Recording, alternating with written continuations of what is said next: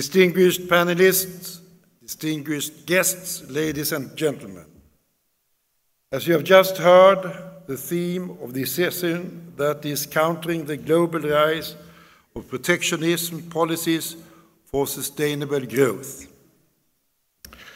Uh, there are a few questions that I will put to the panelists, and they will elaborate upon these questions. And thereafter, there will be, after each short intervention, there will be a discussion among the panelists. First of all, we can note what we all know that there's much talk about the new protectionism. We know that we had the golden age of globalization in the 90s and in the beginning of the 20s uh, up till the financial crisis of 2008. Free trade was considered to be good to everyone. Thereafter, after the financial crisis in 2008, we have had what some people call a globalization, with a lot of countermeasures hampering foreign direct investment and the flow of free trade. So, uh, one question uh, to the panel is all these hard facts that we have seen in the last years, have, they, uh, have these conditions uh, done that uh, the, uh, the conditions for global trade have worsened? The second question is, concerns the causes for the new protectionism. Which are the main causes? There are many main causes. There are many causes, as for example, economic uh, conditions, uh, new technology causes, social causes, environmental causes, and so on. So, which are the most important causes to the new protectionism? And what do, that, do these causes signify? Is it a temporary breather of liberalization or a more prolonged backlash that we are experiencing? And the last, uh, the third question to the panel is uh, what is the impact of this new protectionism? Uh, do we see a weakening of multilateral trade or for FDI? Do we see a strengthening of regional arrangements, or what do we see? And then, last but not least, but that we will take in the, in the very end, that is, where do we believe that we will stand five to ten years from now? And what should be the responses and what should be the remedies to this uh, new, so-called new protectionism. First of all, I would like to give the floor to um, Andrea Goldstein, who is a senior economist from the Organization for Economic Cooperation and Development, the OECD. Please, Andrea.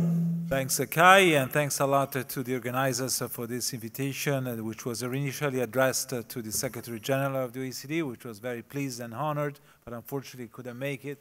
But of course, uh, I can convey his sentiment to the ruler of Dubai and to the organizing committee that this AIM is very important for us.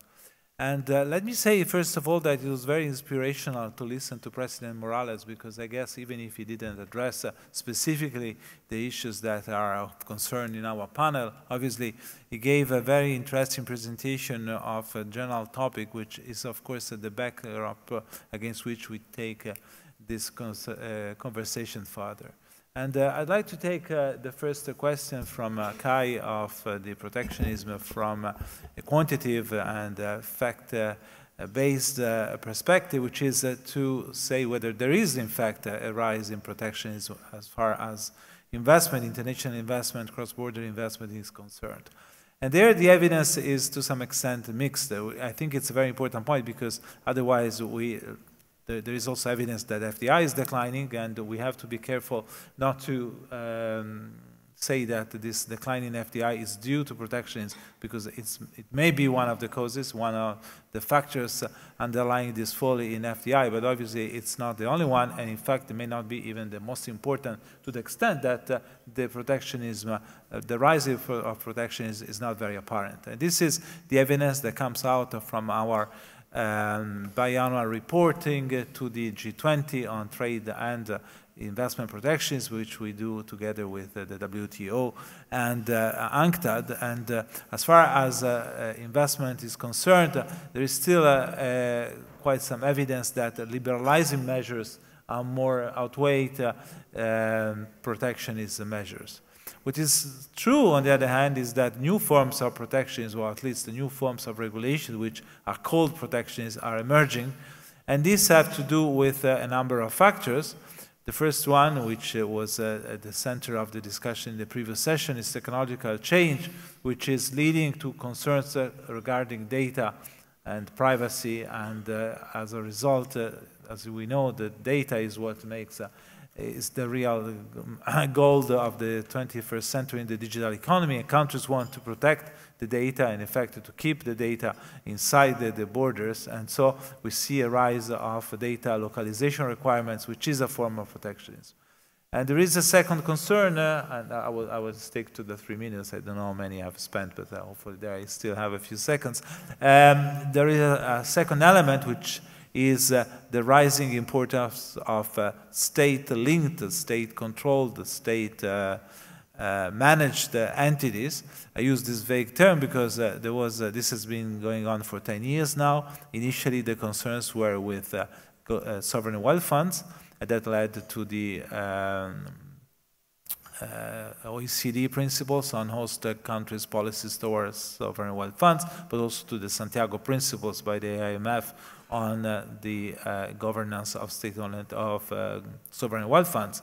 Now we have a second phase of this, which is the rising importance of state-owned enterprises as international investors, and this is giving rise to new concerns and to new forms of regulation, which instead of which are linked to, to security concerns, and uh, we know that there have been limits to foreign investment in certain sectors for many years now. Now we are moving to a second phase where these uh, uh, controls, so these uh, policies address on a broad level the security implications of uh, international investment. But all in all, I don't see a rise in protections. I see new forms of protections as it, when you speak uh, about uh, investment. Obviously, there is the trade protections, which is having an impact on international investment, but this is a slightly different story. Thanks, Kai. Thank you so much, Andrea. And now I will give the floor to Amal Mohamed El Malla. She is the chief of the Office for Arab States International Trade Center. Please, Amal. Hi, everyone. It's my pleasure to meet you today. Um, uh, before my work uh, with the ITC in Geneva, I was also a private, senior private sector development specialist uh, with focus on investment policy and trade at the World Bank. And uh, I support uh, uh, and agree with my OECD colleague on his assessment. but I need to add to that that in light of the questions raised by Kai, um, in, in, in, the sense of uh, trade-led investment, it is very important uh, to understand that companies and businesses are continuing to do business and protectionism will not be a hindrance and stopping business as usual. Um, that's why ITC believes very much in the internationalization concept and how to help governments and private sector find uh, uh, the coping mechanism. Because the convergence between trade and investment is very apparent. And one of uh, the, the, areas where we found that uh, governments and private sector could find uh, a safe haven is uh, developing more on uh, the regional uh, integration concepts. Um, and for this year, it is our priority in the Office for Arab States to work together with the African Union uh, to build uh, with other development partners on uh, the Arab-African Bridge initiatives because within regionalism, private sector and governments uh, could really uh, counteract the vulnerability of uh, uh protectionism and uh, take different uh, forms of trade favorable reforms. Thank you, Amal. And now I give the floor to Bernardo Calzadilla. He is the Director of the Department of Trade, Investment and Innovation at the United Nations Industrial Development Organization, UNIDO. Please, Bernardo. Uh, good afternoon, everybody. UNIDO stands for Industrial Development. As such, our emphasis to look at the manufacturing sector, and the hard facts uh, are right. Uh, you, there has been a, a tremendous decline in uh, investment in the manufacturing sector. But at the same time, and this is maybe something that we should look at, you mentioned during the introduction, there are a number of megatrends that are going on, uh, and the response will be also multifaceted. Uh, Andrea also mentioned that we don't have one cause, there is a new protectionism, there is not a dichotomy here. We have the trade tension, we have migration, uh, we have climate change as megatrends. And I would like to say the most important megatrend which this uh, event is also discussing is technology, technological transformation.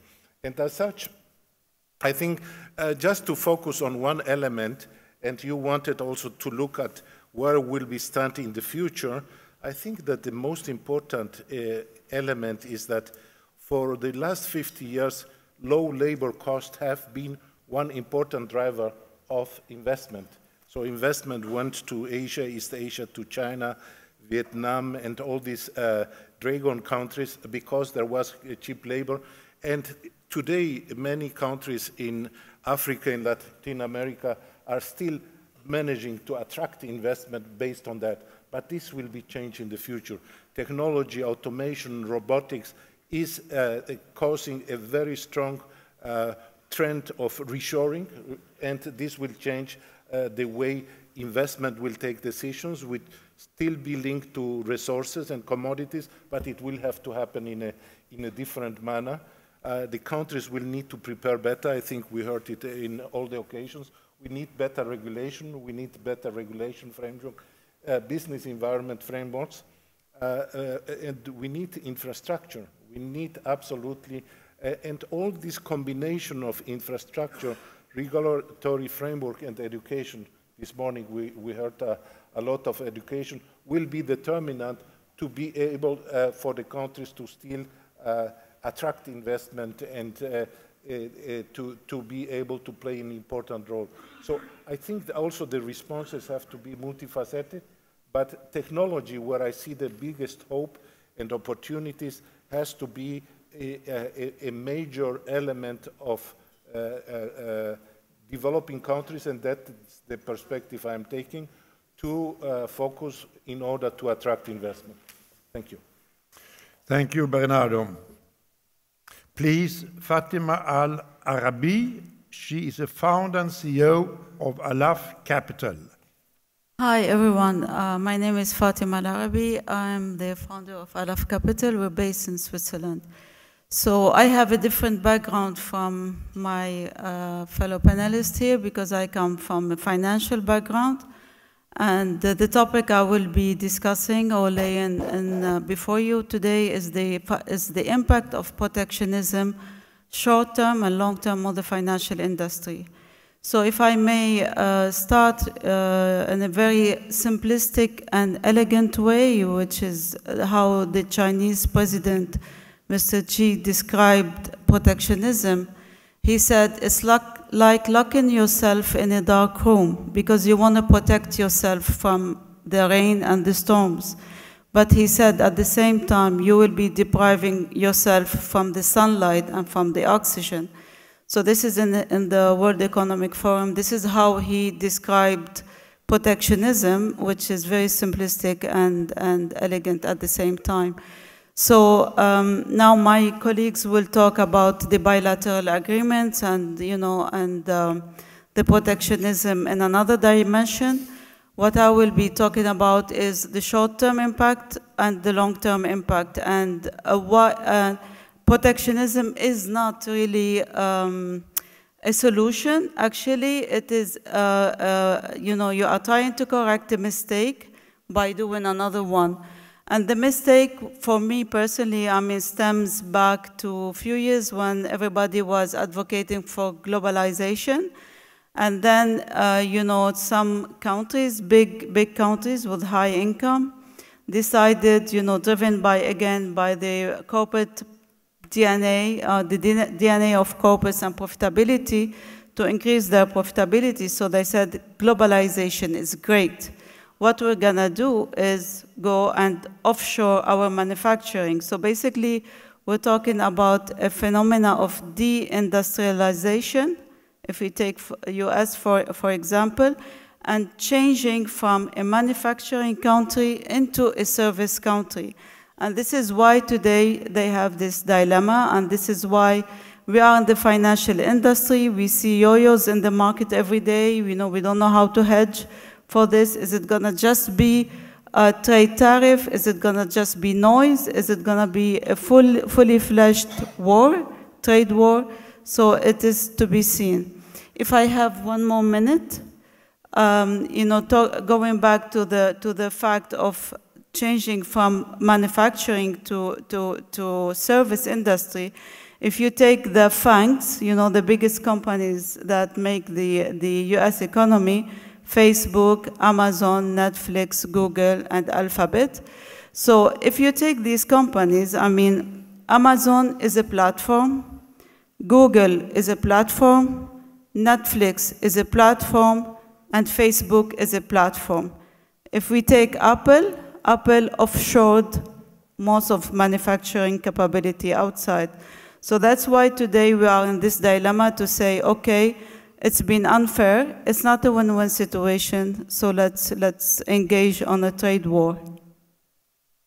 Thank you. Please, Mr. Yonov Frederick Agah, who is Deputy Director General of the World Trade Organization, WTO. Please, Yonov.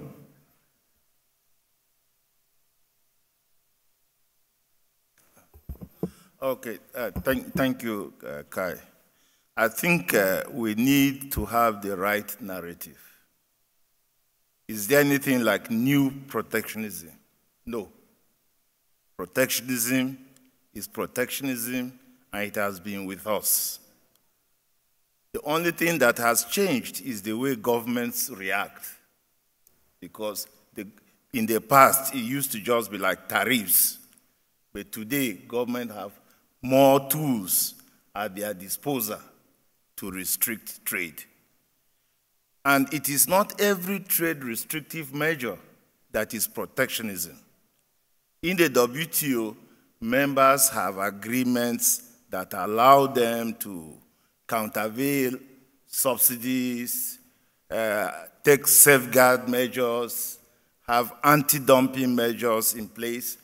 These are legitimate uh, goals they are allowed to protect the animal health, plant life, their morals, security. These are goals enshrined in the agreements. The only thing is what happens. The reality we have also to look at is why all of us agree trade is important.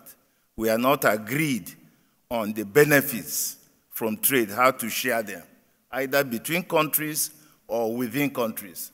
And this is where the pressures come in. Within tensions between countries as to who is benefiting more than the other, tensions within countries because the governments have not put in place uh, measures to ensure that the benefits from trade go to every segment of society. So some people are losing, some people are benefiting. So the conversation we have today is more about losers of trade than those benefiting from trade. And my uh, appeal to all of us is to also try to tell our stories of those benefiting from trade. And it is these tensions that we in our governments that the politicians latch on. And I keep making the point, we think politicians have the solutions to our problems, but sometimes they are the problems. So Let's look at it really, uh, in, in reality. What is the cause of these problems? Most of our countries have lost competitiveness, manufacturing competitiveness. Some have undergone tremendous technological advancement, which has reduced uh, manufacturing uh, employment. So people are losing jobs. What measures have government put in place to create safety nets to take care of those who are losing jobs or those who are losing markets? Finally, I think we need to look forward from two perspectives. What do governments need to do? In the WTO, we provide a platform for them to negotiate agreements, to discuss the problems they have with one another, to settle their disputes, and to ensure that they work for the common good. So we are looking at collective leadership to serve the common good. At the national level, also, governments must respond to those who are losing. It's not just uh, countries that lose. Workers need to be re, uh, retrained, provided new skills. So, how do you have a conversation that enables you have a WTO that is strong, responsive, takes care of your conversation, your needs, and responds differently? So today, many of you would have heard about uh, WTO reform. Reform could mean many things. Reform could mean filling gaps in the current agreements. Reform could mean changing the way we do this, take decisions. Reform could mean uh, strengthening the dispute settlement process that we have. And reform could mean new agreements or completing old uh, outstanding issues. So uh, these are things that, as stakeholders, you need to have a conversation with your governments to make sure that the discussions in the WTO touch on the issues that affect your lives, not the politics of trade. Thank you, Yonov. And finally, please, uh, the floor is yours. Dr. Antonio de Lecea, who is university professor, and many other things. Please. Thank you, Kai. Thank you for inviting me to this meeting. Uh, I have the, the, privilege of having of coming after so many insights into the problem. Uh, let me uh, emphasize a couple of them. First of all, uh, when you look at the hard facts, don't be blurred by them, uh, because there are not everything that you see when hard facts decline is protectionism. Uh, there is one, one main element, which is uh, natural, which is that uh, the, the, global economy has evolved. In the past, let's say oversimplified 20 years ago, uh, there was a set of, uh, an area of the world that were mainly consumers, US and Europe, and an area that were mainly producers, let's say China, oversimplifying things. Now things have evolved. Now the Asian middle classes have, have, uh, have risen and have become a, a, main source of demand. They have also become a main source of supply, of, uh, of uh, industrialization. Therefore, the, the value chains uh, must adapt, and they don't need to jump from east to west and west to east and west to, east to west many times in the, in the value chain, they can remain uh, uh, regional. So this is natural, and, and this is uh, not to be uh, uh, confused with uh, protectionism. on top of that, there is also a problem of, of measurement. some of these flows that have gone down are, are a consequence of, of prices, prices of, of commodities uh, commodity prices have come down, therefore the volume of trade has come down, but does, this doesn't mean that the volume, sorry, the value of trade has come down, but this doesn't, doesn't mean that uh, the value has come down. Second, yeah, there is an element, a clear element that is protectionism. But let's, let, me, uh, let me add that protectionism has been there for quite some time. And let's take, again, oversimplifying China. China is a protectionist country. I mean, it has been subsidizing uh, its uh, industry for a very long time. It has uh, state-owned enterprises that have a, a favored treatment. Uh, the, the, uh, I mean, the different thing, what has changed is that uh, China has moved from a really underdeveloped country to one that competes on a level playing field with, with Western, Western companies. Therefore, now Western companies and Western people, Western citizens say, well, why should we accept that our competitors are, are, are fueled with uh, public money when we are not allowed to do it? And this has generated uh, discontent. Discontent also from the fact that th they were promised that globalization would be for everyone, that it would lift all boats, and in fact, a few years later, they see that they, that, that they aren't, that some boats, some, uh, boats in the West have, sink, have sunk, that some regions uh, are, uh, are, uh, declining, uh, and that the average and, and, even median wage has stagnated. So again, the citizens see, well, our wages have stagnated, whereas those in the East have, have prospered, that's fine, but it's fine for as long as they behave in without protectionist measures. If not, then they will apply our own protectionism. If, if, the rules are rigged, then we will either correct the rules or we will escape from the rules as some have done or are proposing. Of course, escaping from the rules is not the right solution, and we come to, to whether this is uh, permanent or temporary.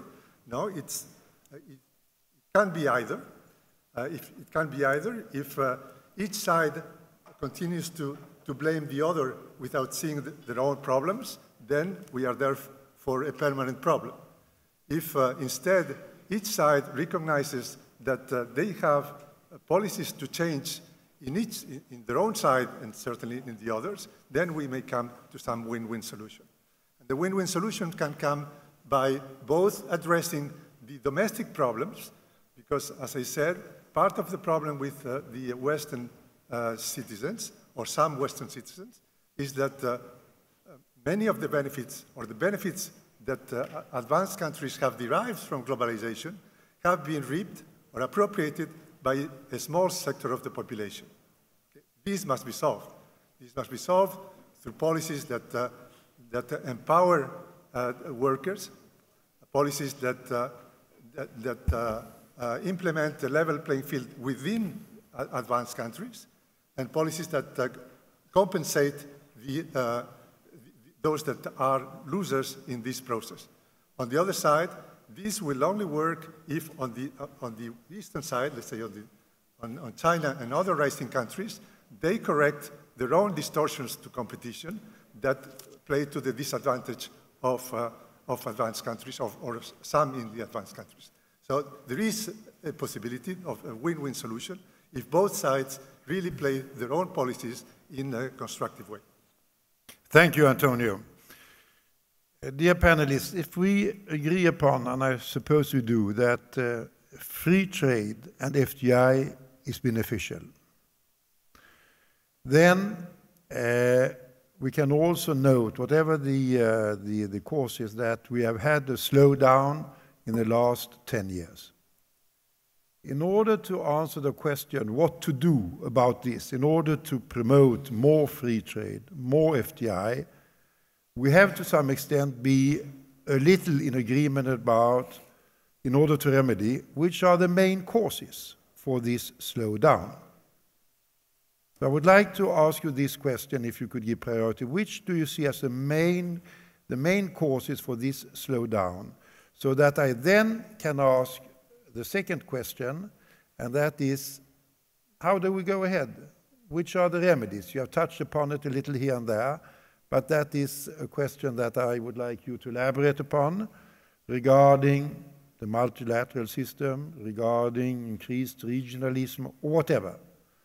But my first question is so that we can then answer the second question. What do you see as the most important reasons for this slowdown that we have had in the last, let's say, 10 years.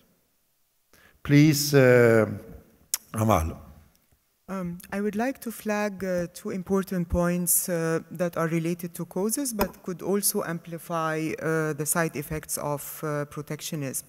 One, uh, it's not only about uh, the rise of new regulatory framework that could be restricting investment and trade, but it's more about the enforce enforcement of existing laws. And this rigorous enforceability uh, uh, could uh, lead to a greater condi conditionality, which means that it is attached to uh, a mechanism of regulatory approval to uh, achieve a specific investment or trade goal. This is a risk. A second one um, is uh, how the private sector or the investors could find a way to cope. The coping mechanism in itself could create a domino effect because uh, uh, as a coping mechanism, uh, companies um, resort to shortening their supply chains. And this could not only compromise the quality of the outputs, but it is leading to loss of jobs, and most of the time it could be value-added jobs.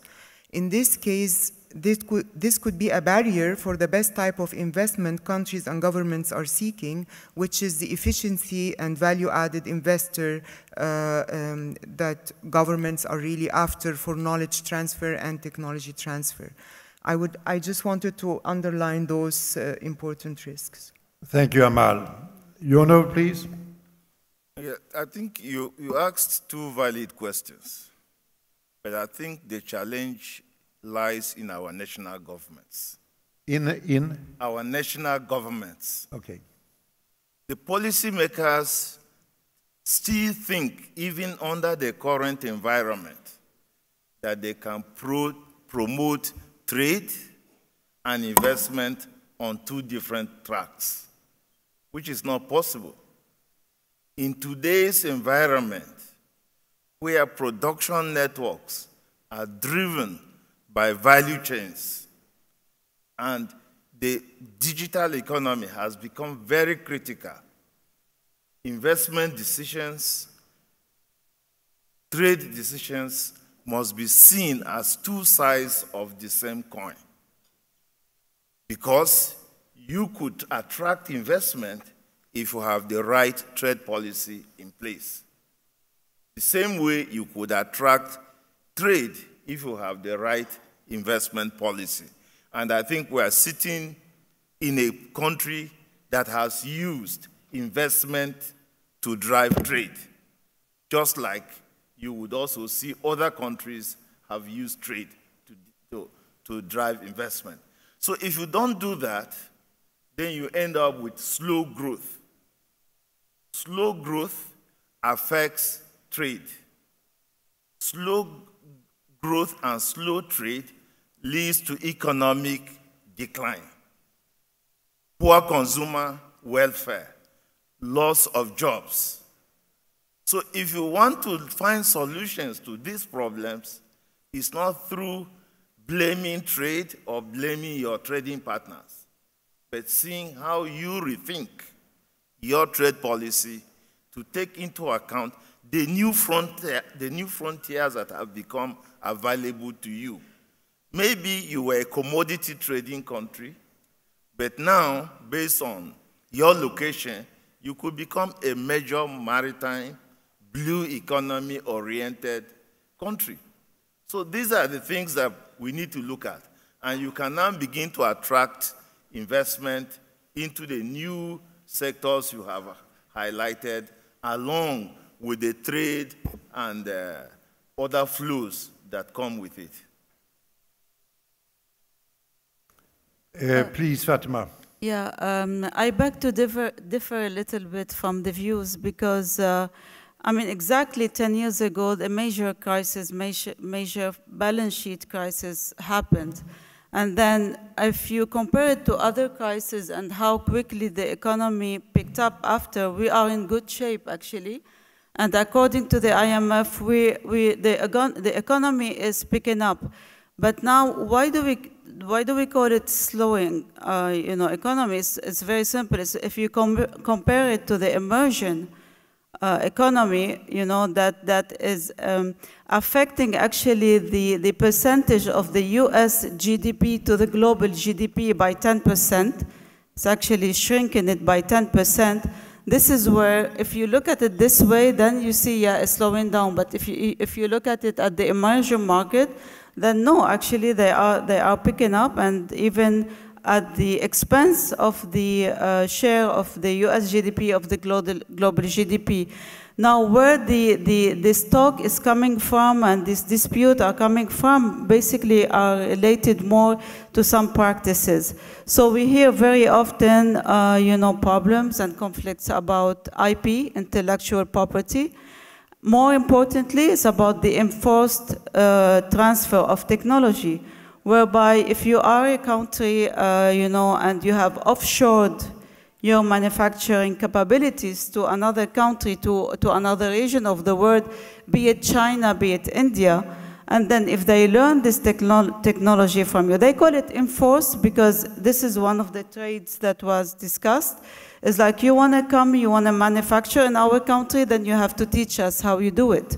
So yes, the core technology can, can still belong to the mother company wherever it is, but the skills are being transferred. And guess what? You learn, you copy, maybe you do it better afterwards. So this is where basically it's, it's about IP, it's about uh, enforced transfer of technology, where most of the disputes are taken from, and of course cyber intrusion as well. So, uh, you know, a rising tide lifts all boats. And if it's working, why, I mean, if it's not broken, why fix it? It has been good. It has been doing well. The economy is speaking fine. You know, why do we want to put hindrances and, and objections? And then we say in French, mettre le bâton dans les roues, which is you put sticks in the wheels. The, everything is turning, leave it turning. You know, it's, it's doing fine. Thank you. Bernardo, when we talk about uh, causes and explanations, you underlined very much and uh, so did now uh, Fatima, the technological aspect. You highlighted that. Yeah, and uh, the technological aspect, I think, is something that took us a bit by surprise. Uh, it is a paradigmatic change. But before that, I would like still to, to, to, to maintain the, the course of the discussion, because I think uh, uh, Fatima referred to, to the crisis 10 years ago, and uh, we went to, to, to, to, a moment of ultra-liberalism. Free trade market, uh, ru uh, the rule of the market has led us to this wonderful uh, process of growth and globalization and the positive side of globalization that had one big problem there, inequalities. Yeah? Uh, and the response has been from the politicians. The politician came and their response is protectionism, but with a bad reading because we are going from a um, uh, uh, ultra-liberalism to a protectionism, while it was a matter of, of maintaining the right calibration, if I may say so, of how much market is allowed. We heard uh, Mr. Morales just before, uh, while he has a, a, a leftist government, he is opening up to the market to also attract investment. In terms of, of, of technology, I think that definitely uh, this is one of, of the uh, uh, roots not, not of pro protectionism, but this is one of the roots of the change of our paradigm and the way business will happen in the future. Uh, because uh, I, I, repeat, there will be a reshoring of many companies, and um, there is the need to insist in preparing the countries to a different production uh, process, a different production paradigm. So I think that technology is a very important element in the way we have to look into the future and that technology is not part of this protectionism, but is one additional element. And this is where I say we need to look at the different aspects as part of the same in a systemic manner. Uh, and here I would just like to add one uh, more element, which is uh, climate change and the environmental challenge. We need uh, also through technology to move to a circular economy. In some European countries, uh, we are starting to listen more what the consumers are saying, but we need to be also responsive in relation to the needs of the environment. Thank you. Thank you so much. Um, Andrea, if I understood you correctly, you said that, okay, there's much talk about uh, protectionism, but quite a lot of liberalization is still going on.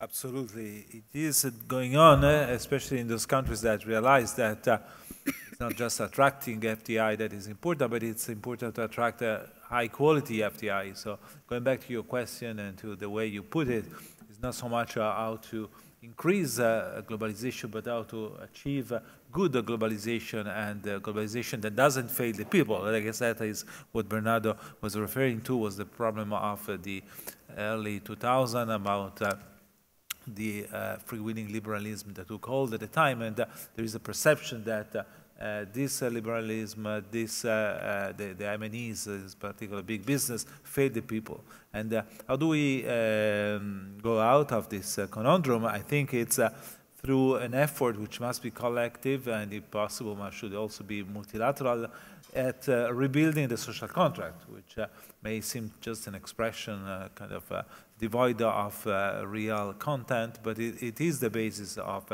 any society. And from this point of view, let me just finish uh, on, on one point, I guess, is that uh, there is a need to recognize uh, that uh, business has to achieve a license, has to merit a license to operate in the global society. And this uh, should be through uh, instruments of responsible business conduct. So it is important to be engaged in philanthropic activities, but it's not enough. Corporate social responsibility is not enough. I guess we have to move to the next uh, step, uh, and the next step is responsible business conduct and how to build an international system that is conducive to responsible business conduct. So public policy, but obviously also corporate efforts. Thank you. As you saw, I just got my small instructions here. So uh, uh, we have got uh, five minutes left, so I would like to uh, give you one minute each, and that is to conclude answering the question. Where do you think that we stand in five or 10 years? Or what shall we do in order to promote free trade, more free trade, more FDI? We start back there, please, um, Antonio. One, one minute each, and then we have to conclude. That's very easy one minute. so what I would say is, uh, well, there are two scenarios. One, we continue like we, like we are doing, and then we, are, we will not uh, escape the uh, protectionism. The other is to reduce, the positive scenario is to reduce or remove the distortions at national level and at international level that create the distortions, the, the anxieties that are at the basis of protectionism. Thank you, Antonio. You know? Well, I think uh, we all have to agree that protectionism does no one any good. We all lose at the end. So if the current tensions escalate, the whole global economy will go into turmoil and we'll have more problems. So my suggestion would be members should continue to talk, share their problems, see how best they can respond to concerns being expressed to find the way forward. But to think that you can pull the plug on the global trading system or on multilateral cooperation and still benefit, you will be sinking yourself too. Thank you. Thank you, Yonov. Please, Fatima. So I can tell you actually, uh, you know, bottom up. So let's say we go ahead with protectionism, saying that, you know, this, this does good. So I will tell you what are some of the consequences. So first of all, of course, you know, when, when you have no choice, you go to a supermarket and then you only have to buy local products because foreign products are, are not there. These local products, you know, which, uh, will, which by definition will become more expensive to you because the cost of production is higher and because the raw material are more expensive and so on and so, so forth. So you have more expensive products that you can, and less purchasing power. So, so what happens here, we're talking about uh, prices increasing. So this is inflation. Inflation is not good for countries in general, and then the central banks will try to fight it by decreasing, by uh, sorry, increasing the interest rates, and then when they increase the interest rates, you go in this vicious circle whereby you don't spend because you want to make more money on the, on whatever money you have. So you have higher, um, uh, more expensive goods, higher inflation, and then the central banks will have to deal with it by increasing interest rates or devaluing the currency. So in all scenarios, I mean, nobody wins a trade war. It's a war after all, and nobody wins it. So the best uh, approach to be is let's find a win-win situation whereby the equilibrium is not like you buy from me one dollar, I buy from you one dollar. No, the equilibrium would be complement me. Give me what I don't have, and I give you what you don't have, and we live happily ever after. Thank you, Fatma. Thank you. Please, Bernardo. Thank you. Um, to finalize, I would like to say we need a systemic response uh, where the private uh, investment plays a key role. We know that in the future we will need more private investment, we will need more private sector, uh, but we have to regulate also. Because when you see we are talking no globalization, a lot of uh, regionalization is coming up, but out of uh, 100 uh, MNEs in the digital economy, 60 belong to only to three countries. This means we have a high level of dominance of the digital economy by global players. So there is a paradox here because the global players are getting more power and it's rather the smaller companies that are disappearing. We need to involve the private sector, the private investment from all levels at the country. Local investment, local quality is important. Quality investment, we call it when it's linked to the local economy. Thank you. Thank you. Thank you, Eduardo. Please, Amal. Um, I think on the governmental level, from a macro perspective, uh, it is very important for uh, countries to rationalize and think very carefully about the context of their regulation and their policies and strategies when it comes to industrial trade or investment uh, strategies and policies. This is very important. Uh, another thing also uh, for uh, countries that don't have this type of awareness for development organizations and institutions to uh, conduct kind of hand-holding uh, technical assistance to connect countries together, at least on a regional level, to benefit from proximity and uh, to empower them to have uh, the bargaining power uh, so they wouldn't uh, be under the mercy of uh, uh, more dominant countries. On companies level, businesses who would survive are businesses who will always become more competitive and more relevant. So uh, moving forward, I, I, I, see this happening, so I'm not really concerned about the impact of protectionism. Thank you, Amal. And please. Thanks. Well, well, we will be in 10 years' time, inshallah, we will be in Dubai at AIM 2029 with uh, having great fun because we will have solved all the problems that we are facing today. And uh, hopefully through uh, a new social compact, which uh, will be inclusive and participative and well funded, and which I think will have human rights at the corner of responsible business conduct. So the recognition that uh, in all its dimensions, uh, human and labor rights are at the core of uh, innovation, social innovation, and social development, uh, and the fight against uh, corrupt, um, against poverty.